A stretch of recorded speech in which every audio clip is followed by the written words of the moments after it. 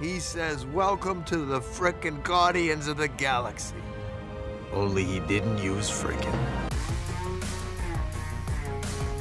Hey, welcome back ScreenCrush, I'm Ryan Arey. Okay, we have a brand new Guardians of the Galaxy after Volume 3, and we're going to explain this new cosmic team. Rocket Raccoon is the leader and captain of all these new Guardians. Now, other than Rocket and Groot though, there are five new members on this team. So let's do a full breakdown of every new Guardian and what will be their future after Volume 3. Also, I'm going to tell you about some other cosmic heroes that might join the Guardians of the Galaxy in the future. Some of them are already in the MCU, and others will be major cosmic heroes in the future. You seem like a noble leader. Will you join me on my quest to Nidavellir? Uh, let me just ask the captain. Oh, wait a second. It's me. Yeah, I'll go. Wonderful. Okay, now before I go over the new members, let's first talk about the remaining original members. Starting with my personal favorite, Rocket Raccoon. He is the leader of the Guardians of the Galaxy, or shall we now call him Captain. I won't go into the whole near-death experience Rocket had in Volume 3 because we already did a full breakdown of this scene in our Ending Explained video. Was it heaven, divine intervention, a simulation, or did it all happen in his head? Doesn't matter. What's important is how this experience changed Rocket. He accepted who he really is. He confronted his maker slash tormentor and he's free to forge a new path for himself. And this new path is leading the Guardians of the Galaxy. Time to be the captain. And in case you doubt his leadership skills for some reason? Let me remind you that Rocket has been a Guardian longer than anyone else. The entire team was wiped out in Infinity War. Four of them got dusted and Gamora was chucked off a magic cliff. Only Rocket survived. But what about Nebula? True, Nebula survived as well, but at the time she was not an official Guardian. Nebula only became a full member post-snap. So Rocket has the most seniority among the Guardians. In addition, Rocket and Nebula held down the fort for those five years after the snap, a very difficult time in the galaxy. And they also formed an alliance with the heroes on Earth. Also, Rocket proved that he's the real captain when giving Thor some really good pep talks in Infinity War and Endgame. You think you're the only one who lost people? What do you think we're doing here? I lost the only family I ever had. It's not Rocket's fault that the older Thor gets, the dumber and more fragile baby he becomes. So, Rocket has the experience and the ability to lead the new Guardians. And he's also an adoptive father to Groot. Or why's that? Well, in case you didn't know, the Groot who sacrificed himself in Volume 1, he died for real. Baby Groot is his offspring, and since Rocket took care of him since he was just a twig, that makes him his dad. In fact, James Gunn even confirmed that Groot's last words in Infinity War were, Dad. And Groot grew up to be a very big boy. He went from being Swole Groot to Colossal Groot. I'm not even sure he can fit in the Guardian ship at this point. That is one big damn tree. Yeah, how did he get so big? Well, actually, I have a cool theory about that. We don't know much about the origins of older Groot, but in the comics, Groot grew up on Planet X. That's the home planet of his species. That means that his size was restricted by the gravity of his world. Baby Groot, on the other hand, grew up on a ship, so without the strong forces of gravity, Groot's body can grow much bigger than his father's. Well, it's either that or I guess it's an alien tree and that's all the explanation that you need. I'm Groot. Actually, Groot sort of looks like King Groot now. Wait, Groot is a king? Well, you see, in the comics, there was an evil version of Groot decades before the more lovable Groot was introduced. Back in Tales to Astonish number 13, that's the ancient times of the 1960s, Groot looked like this. Now that is King Groot, an evil alternate version of our favorite tree guy. Another version of King Groot also appeared in the fighting game Contest of Champions. This one became a galactic warlord who experiments on humans. So Groot's gonna turn evil? No, no, no, that's just a fun visual reference to King Groot, but you never know, we might see some other Groots in the future. Of all the members of the Guardians, Groot is the least developed character. So if there will be a Volume 4, then it could explore Groot's story and we might even see the evil King Groot. Alright, that's Rocket and Groot, so let's switch up to the new Guardians. The first among them is... Adam Warlock. Yes, Adam is one of them, but before we talk about him, there's Kraglin. Now, he has been around since Volume 1 as part of Yondu's Ravager clan. Kraglin was Yondu's loyal first mate, except for that one time he helped start a mutiny. Sorry about all this stuff. Kraglin was already an official member of the team after Endgame. We see him fight alongside the Guardians in Thor Love and Thunder. Now, after Yondu died in Volume 2, Kraglin got his badass fin. That's this whistle-controlled arrow, which might very well be one of the best weapons in the MCU, as long as you use your heart to control it. Now, in Volume 3, Kraglin struggled with the arrow because he didn't believe that he could fill Yondu's shoes. But after seeing Yondu's Force Ghost, Kraglin uses his heart to control the arrow, meaning that he believes he's worthy. Whistle Arrow Spaceman. You know what? I like that. High five.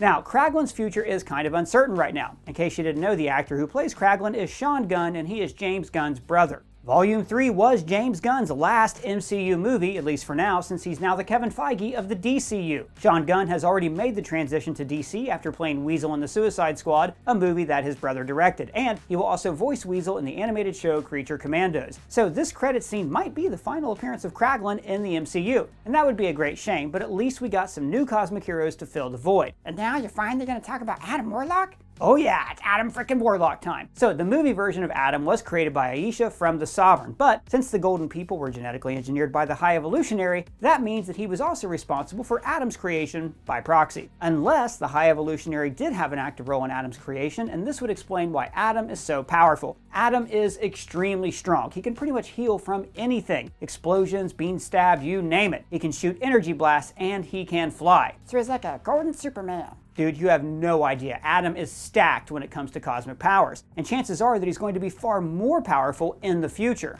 You see, Adam is kind of undercooked. He came out of the birthing oven way too soon. And that's why he's so weird. Yeah, well, he's basically still a child. He doesn't understand the difference between right and wrong because he was raised by Golden Cersei Lannister. Have running.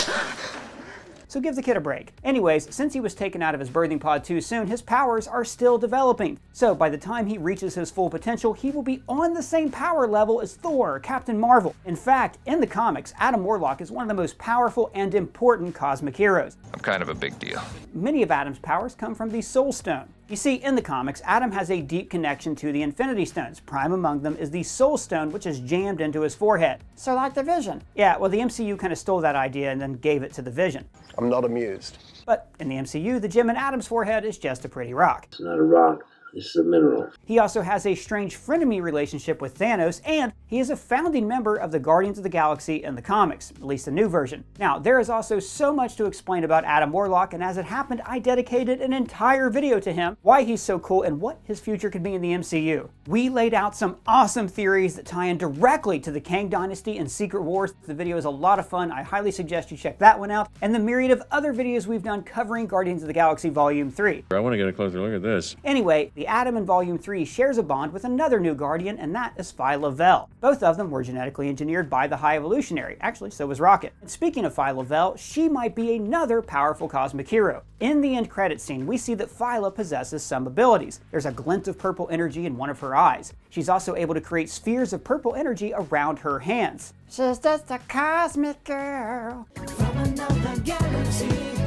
Very good, yes she is. Now, I wonder if Vell is special among the other children that were created by the High Evolutionary, and if she is the only child with abilities, and that is why she was allowed to join the New Guardians. Otherwise, they wouldn't let a kid join a group of space heroes, right? I mean, they let a baby twig join. They did let a baby twig join, so who knows? I'm good. Anyways, that's all we know about Vell in the MCU, but if Marvel adapts any of her stories from the comics, she's going to be a big deal in the future. In the comics, her name is Phyla Vell. She is a powerful cosmic hero who helped assemble the Guardians. Phyla Vell is a unique hybrid. Her mother was an Eternal from Titan, the same Titan that Thanos is from. She was genetically engineered by her mother from the Kree blood of Mar-Vell. That's the first Captain Marvel in the comics. And her brother is Genis Vell, and he's another cosmic hero in the comics who became Captain Marvel after his dad's death. Phyla Vell also became Captain Marvel for a while, as well as the cosmic hero Quasar. So that's some of the big connections with Captain Marvel and the Marvels movie, as well as with the Eternals. She also wielded the Negabands. Now these are powerful cosmic bracelets that were created by the Kree. And Ms. Marvel's bangle is probably the MCU's version of the Negabands. Phyla Vell also wielded the Quantum Bands. Now those are the other powerful bracelets from the comics that give the wielder near infinite cosmic power.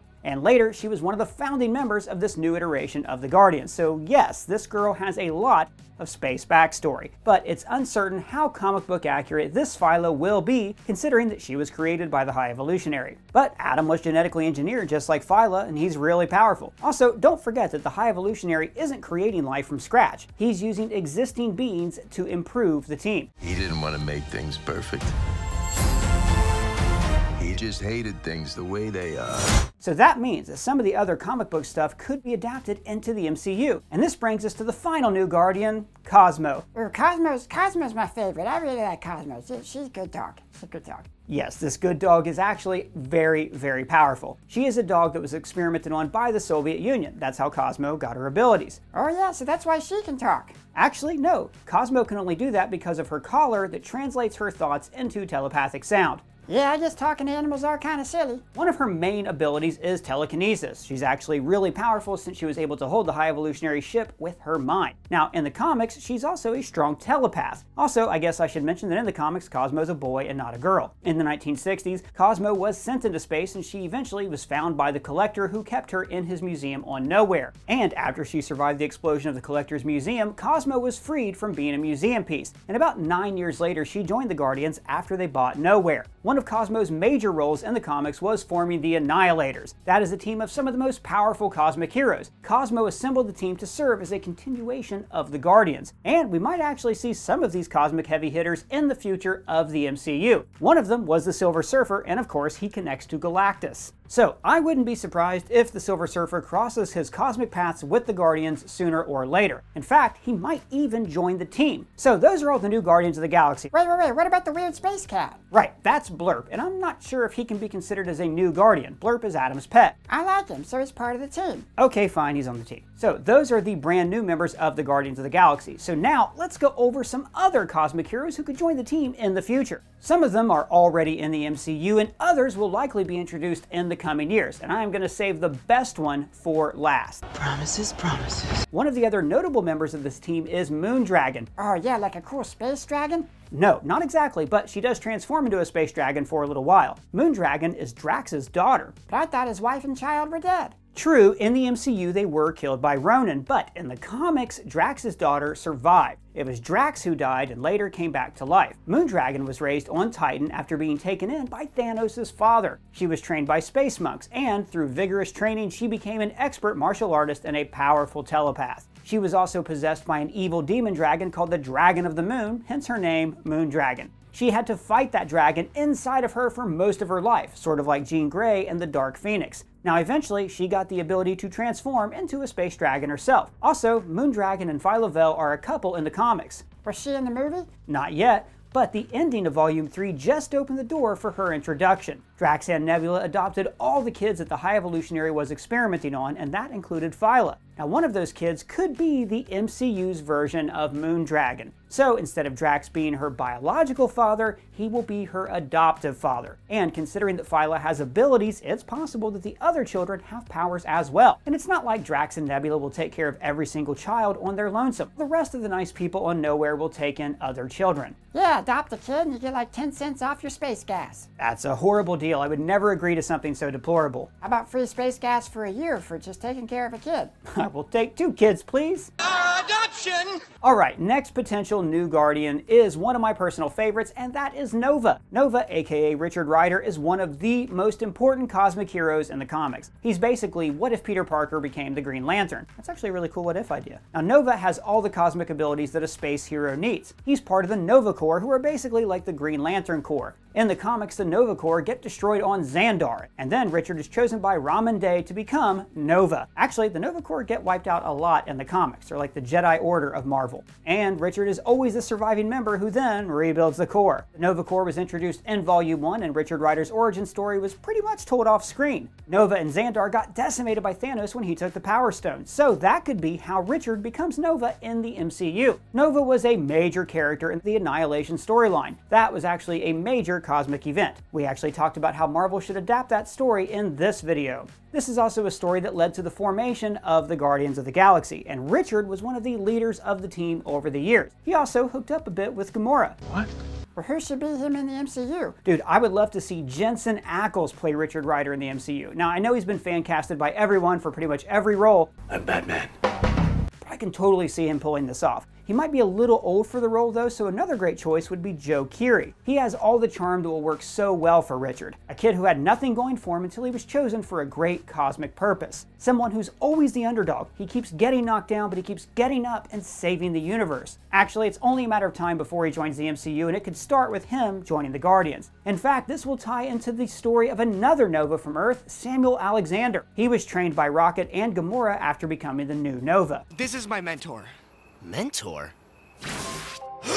Ah! Another cosmic hero that joined the Guardians was none other than Carol Danvers. Now, I don't see the MCU's Captain Marvel becoming part of the team, though. She's more of like a big time Avenger now. But I could totally see Monica Rambeau or Ms. Marvel joining the Guardians in the future. Now, Monica makes a lot more sense because Kamala will probably end up joining the MCU's Young Avengers, a team of young heroes who Marvel might be creating for Phase 6. Maybe in the end of the Marvels, Monica gets stuck in space. Then she meets the Guardians and joins them. And this brings me to two of the most badass members of the Guardians in the comics, starting with Agent Venom. So Venom is officially part of the MCU after No Way Home. Eddie Brock was sent back to his universe, but a part of his symbiote was left behind. And one of the best stories for the MCU's Venom would be Agent Venom. So in the comics, Flash Thompson joined the army. He became a hero and in the process lost both of his legs. After that, he bonded with the Venom symbiote. Now, at the time, the symbiote was in possession of the government, and they wanted to create a new super soldier with this Venom suit. And that is how Flash became Agent Venom, one of the coolest anti heroes in Marvel Comics. And years later, he joined the Guardians of the Galaxy. If this happens in the MCU, that's something that's probably years away. But Venom in space? I mean, how badass would that be? How has that not even happened yet? That's some badass shit. It's pretty badass. And speaking of badasses, imagine this. In an alternate universe, the Punisher dies in a battle where Thanos wins and kills everybody on Earth. He's sent to Hell and makes a deal with Mephisto, becoming the new Ghost Rider. Ooh, that's pretty cool. But there's more. He goes back to Earth, but there's no one left to punish, so he goes completely insane, and then he makes a deal with freaking Galactus and becomes Cosmic Ghost Rider. He literally rides his flaming bike in space.